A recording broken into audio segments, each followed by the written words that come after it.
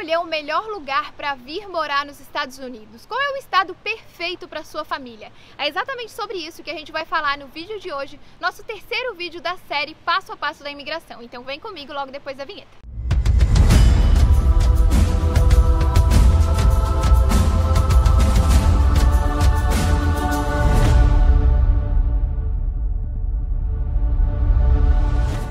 Pessoal, tudo bem com vocês? Sejam bem-vindos a mais um vídeo aqui no canal Turista Orlando. Para quem não me conhece, eu sou a Gabi e hoje eu vou encontrar mais uma vez o Léo da Leon Group para a gente continuar a nossa série de vídeos passo a passo da imigração com informações super importantes que você precisa saber antes de vir morar aqui nos Estados Unidos. A gente está tá trazendo informações valiosas para vocês e é exatamente por isso que você precisa ser inscrito aqui no canal. Esse é só o terceiro vídeo da série, vão ser 10. A gente vai abordar todos os temas importantes, gente, desde saúde, mercado de trabalho, visto e tudo mais. Então se inscreve, deixa o like nesse vídeo se você quer saber qual é o melhor lugar para vir imigrar. E agora eu vou encontrar o Léo da Leão Group pra gente começar esse papo aí junto com ele. Agora sim, tô aqui junto com o Léo. E Léo, o inscrito aqui do canal, ele já viu o nosso primeiro vídeo falando de visto.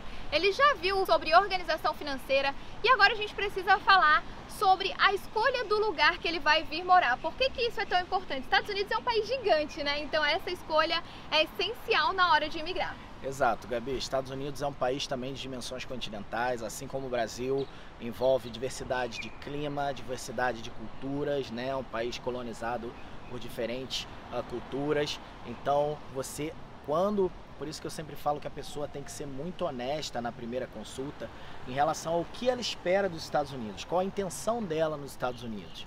Tá? Desde o clima que ela espera enfrentar, o tempo de viagem da família dela para visitar ela nos Estados Unidos vai pesar também, é, que tipo de alimentação ela, ela, ela, ela vai, é, espera encontrar pela frente, que tipo de, de, de atividade física ela quer praticar, isso tudo tem que ser envolvido na hora de decidir o local que ela vai morar. Tá? É, que tipo de educação ela quer dar para os filhos, se ela quer privilegiar morar numa casa muito boa ou, ou um local que tem uma escola um pouco com um nível um pouco mais baixo, ou ela quer as melhores escolas e abrir mão de morar num lugar mais confortável.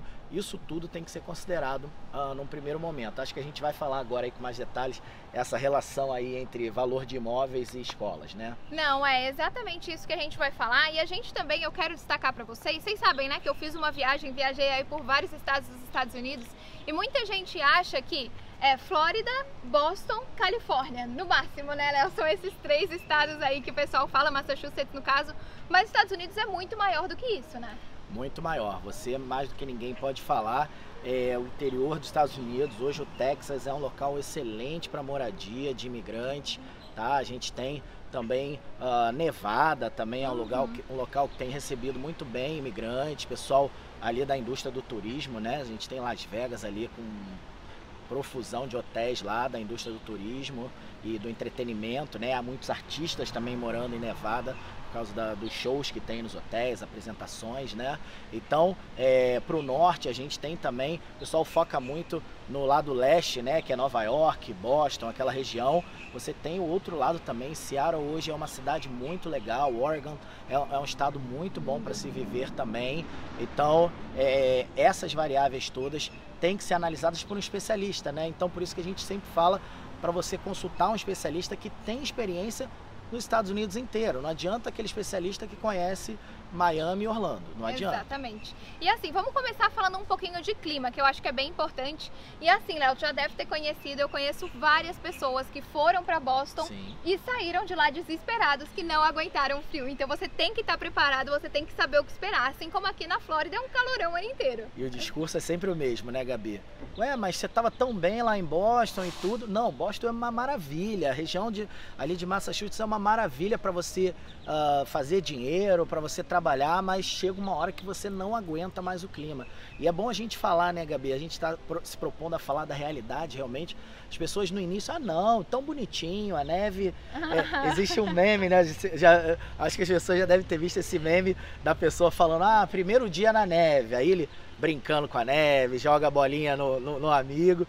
No, no décimo dia na neve, ele já tá saindo de casa irritado, que tem que tirar a neve de cima do carro para ir trabalhar e tudo. E é realmente essa a realidade de quem mora numa cidade com nevasca, como é em Boston, com clima muito abaixo de zero, você vai ter os infortúnios aí gerados pelo clima. Existe uma, um índice, eu estava lendo um estudo recentemente que existe um índice de depressão muito acima do normal nas cidades com clima muito frio, porque você fica confinado mais tempo e, e a ausência do sol também. Muitas cidades dessas a pessoa tem que usar até vitamina D, uhum. complementar de forma artificial. Então, pessoal, isso tudo tem que ser levado em conta na hora de você decidir onde vai morar. E comparando Boston e Flórida, a Flórida ainda tem um custo de vida mais barato do que lá em cima, né, Léo? Sim, aí a gente entra naquele assunto que a gente uh, aventou aí no, no, no, no início do vídeo, que é a questão das escolas, tá? Hoje Uh, Boston também por ser uma cidade grande, quanto mais perto de Boston você mora, a gente fala muito Boston,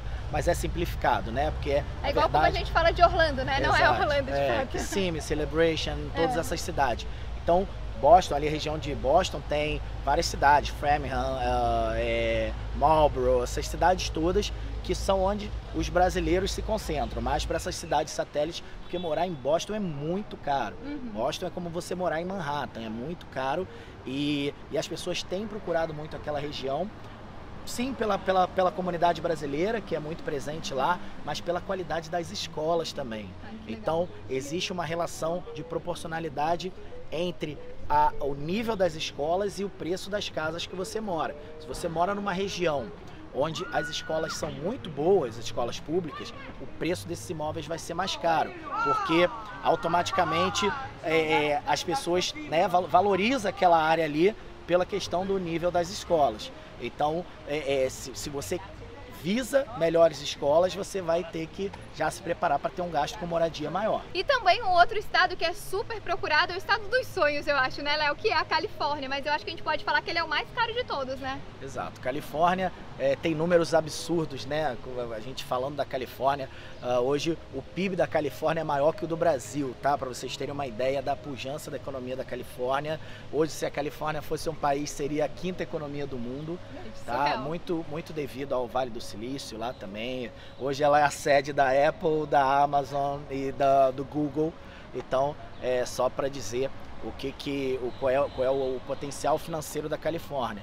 E lógico também, muito devido às belezas naturais. Hoje a Califórnia, né, tem é, é, toda, toda aquele, aquela questão de, de, de, praia, de surf, o pessoal mais do surf, aquela. E a Califórnia a gente brinca que é um, um, um estado muito particular ali na questão de comportamento mesmo. Inclusive os americanos da Califórnia, eles chamam de lay down, né, que são os americanos mais relaxados, o americano que quer mais curtir a vida e tudo. E muitos brasileiros se adaptam mais a esse estilo de vida uh, da Califórnia. Então é o estado dos sonhos realmente do brasileiro mas é, a gente vê que a Califórnia tem um custo de vida muito maior. A gente estava falando aqui de moradia, é muito comum famílias até, não é só os jovens não, famílias dividirem casas na Califórnia, porque querem morar num local legal e realmente uma casa boa na Califórnia, num local legal, você vai pagar 4.500 dólares por mês de aluguel, uma casa de três quartos. É um custo muito mais alto. Claro que você também daí nessa hora tem que levar em consideração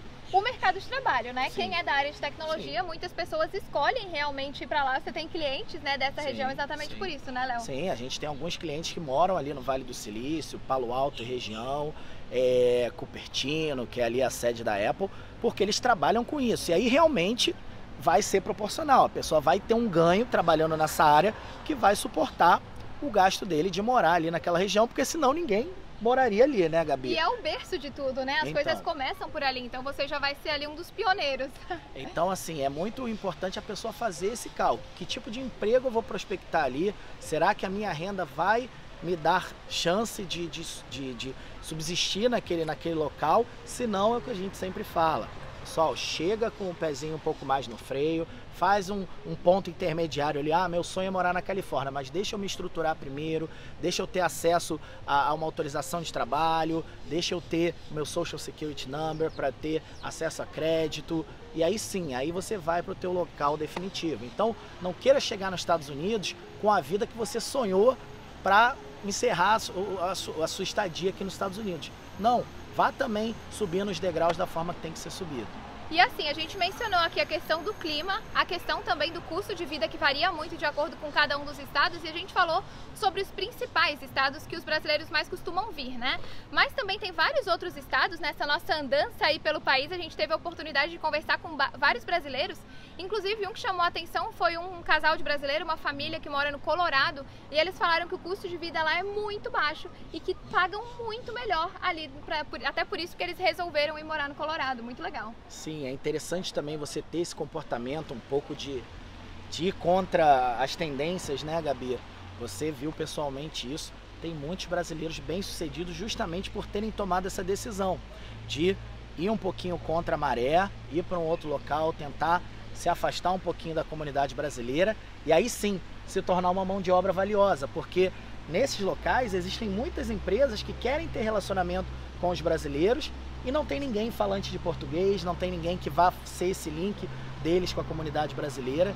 Então pode ser também uma boa opção você pesquisar é, estados. A gente vai falar muito disso, uhum, né, Gabi? Sim. Até interessante num próximo vídeo, dentro dessa série, a gente vai falar especificamente de oportunidades de trabalho, tá? Então, nesse vídeo a gente vai falar muito bem de alguns estados ali secretos que os brasileiros não conhecem que tem excelentes oportunidades para brasileiros. Então sim, a gente vai falar sobre mercado de trabalho em outro vídeo, vai ser um vídeo específico. Então é muito importante vocês já terem em mente isso, questão de clima, questão de comunidade brasileira também, que eu vou falar agora um pouquinho, e a sua área de atuação, né? Aonde que ela é mais vigente. Não adianta você, por exemplo, trabalho com turismo, vou para Dakota do Norte. Ninguém vai para Dakota do Norte, gente.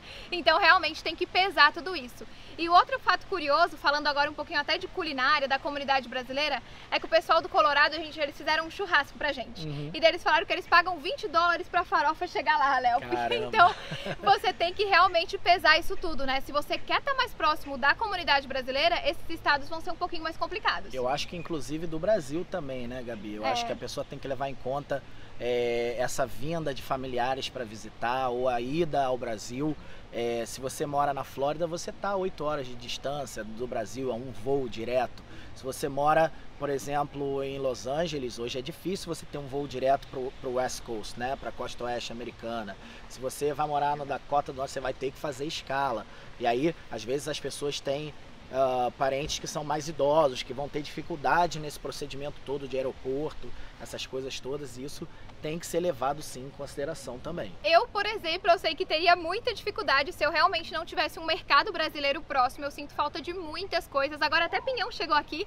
Então, Orlando, gente, é um Brasil, não tem jeito. Aqui a gente encontra tudo mesmo e a gente tem que levar em consideração. Eu falo para os clientes que hoje Orlando que o pessoal já apelidou de Orlândia, é a melhor cidade do Brasil para se morar atualmente. você tem muitos brasileiros perto, você tem acesso à culinária brasileira, restaurantes brasileiros e tudo. Então, se a sua intenção é essa, o pessoal. Hoje existe um movimento inverso, né? Muita gente querendo endemonizar Orlando, uhum. falar que Orlando tá cheio de brasileiro e não vale a pena. Não, tudo vai variar de acordo com o seu objetivo você tem um produto, um serviço que vai atingir a comunidade brasileira, para que, que você vai para longe da comunidade brasileira? Ah, e se você é apaixonado pelos parques, se você gosta do clima aqui de Orlando, você não tem que ter medo de vir para Orlando, não. Orlando pode ser uma excelente opção para você. Tá? Então, também não fique com essa teoria de que tem que fugir de brasileiro, não. Você tem que ter uma, um, ali uma, uma, um plano de ação condizente com o objetivo seu aqui em solo americano. Exatamente. Então se preocupe com você, com as suas necessidades, que esse é sempre o melhor caminho. Já comecem a pensar, se você nunca tinha pensado nisso antes de fazer uma consulta, será que eu vou gostar de morar na neve? Será que eu vou me adaptar bem ao calor? Levem tudo isso em consideração. Distância realmente que você quer ficar do Brasil. Tem farofa lá, né? Perguntar se, se é, tem farofa. Tem, tem que ter farofa. então até aproveitem e comentem aqui em que lugar que vocês pensam, que vocês têm interesse. Tem outros estados que estão aí na mira dos brasileiros, Texas, Utah. A gente vai falar sobre isso também quando a gente falar sobre mercado de trabalho. Então para não perder esse vídeo, você precisa ser inscrito. Se inscreve aqui no canal se você ainda não se inscreveu. Esse é o terceiro vídeo da série dos 10 passos para você imigrar da forma correta para os Estados Unidos. E para imigrar da forma correta tem que chamar o pessoal da Leão Group, então já fala com eles. Link do WhatsApp aqui na descrição, no primeiro comentário fixado. Léo, muito obrigada por estar aqui com a gente mais uma vez e mais esse vídeo. Obrigado você. Nossa equipe sempre à disposição de vocês. Querem tirar dúvidas, não só de vistos, de, da realidade aqui dos Estados Unidos, particularidades de, de cada estado, liga pra gente, a gente vai ter o maior prazer em conversar com vocês. É isso aí, o próximo vídeo já vai ser sobre empregos, então a gente se vê em breve. Um beijo e até lá. Tchau, até tchau. mais, pessoal.